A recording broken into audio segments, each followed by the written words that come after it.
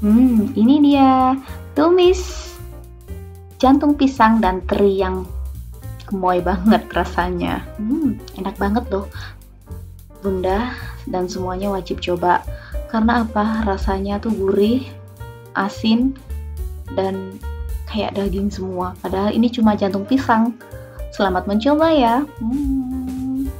Untuk tahu resepnya, yuk ikuti terus dan simak terus di channel Ari Idawati.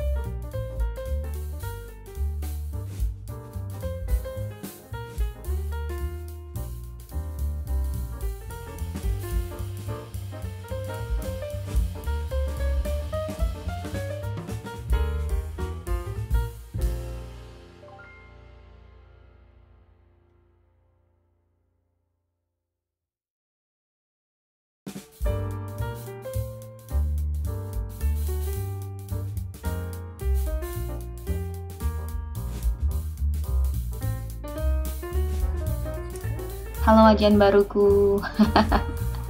Kita akan masak wajan yang ini ya. Nah ini udah aku goreng terinya. Ini adalah bahan pelengkap Yang akan menjadikan tumis jantung pisangnya tuh enak banget. Aku gorengnya pakai sedikit minyak sedikit aja. Tahu kan minyak masih mahal. Nah ini udah kering. Kita taruh sini dulu nanti akan kita lanjutin. Ini dia bahannya. Ini ada jantung pisang yang sudah dibersihkan kulitnya direbus lalu dirames-rames. Aku ngerames-ngeramesnya pakai air bersih. Kemudian tomat cabai merah cabai hijau bawang putih bawang merah diiris-iris kayak gini. Lihat nih sampai netes-netes. Kurang fokus ya aku fokusin dulu. Nah tambahan berikutnya adalah garam kemudian ada lada bubuk.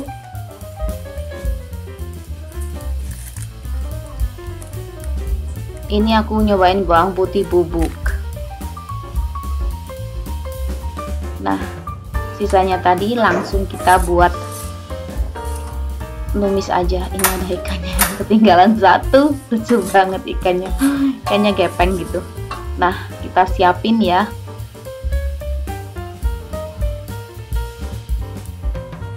masukkan semua irisan-irisan tadi sayur-sayurnya.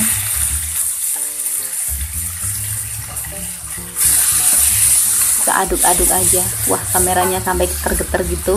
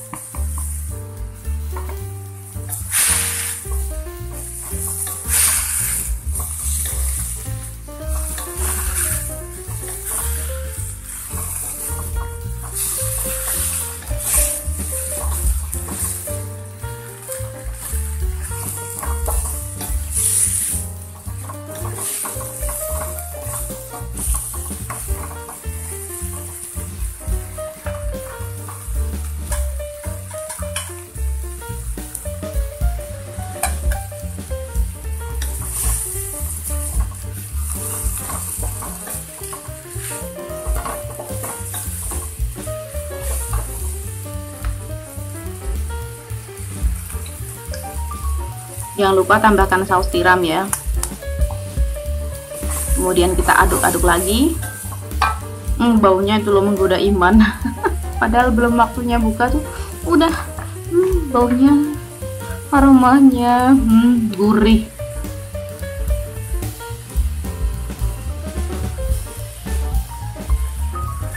Ini tuh rasanya mengalahkan daging. Jangan lupa tambahkan sedikit air ya agar tidak gosong tumisannya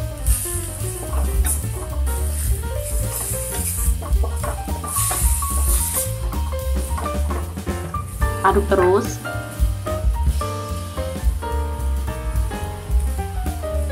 Bumbunya tuh meresap gitu.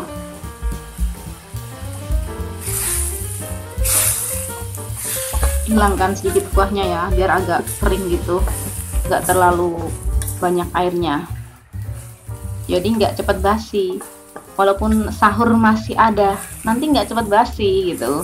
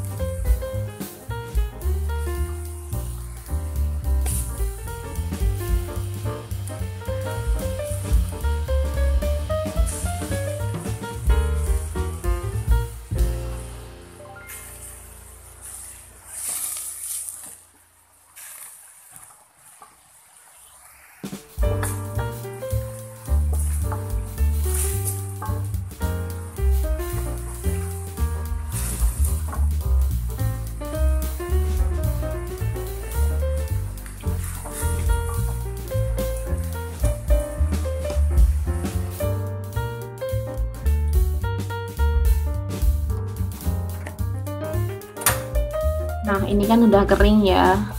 Jadi aku tinggal masukin ikan teri gorengnya. Jadi nggak melempem terlalu melempem gitu loh. Kalau dimasukin di awal pasti udah blenyek gitu. Jadi aku masukinnya di tahap proses finishing aja. Jadi terinya tuh masih keras Agak sedikit kriuk gitu. Crunchy. Nah ini udah kering Airnya udah menyusut ya tinggal kita taruh dalam piring. Cocok untuk sahur nih. Mau untuk buka puasa juga boleh. Kita sajikan.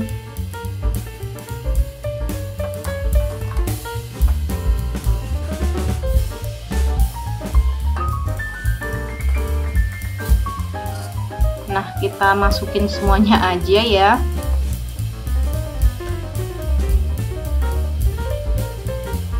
jadi deh nggak ribet. Aku tuh suka memasak yang bawang banyak bawang putihnya ya. Entah kenapa pokoknya suka aja gitu sama bawang putih. Aromanya tuh hmm. Dan ini dia sudah matang. Good job yuk cobain yuk. Tapi nunggu buka puasa dulu ya. Hmm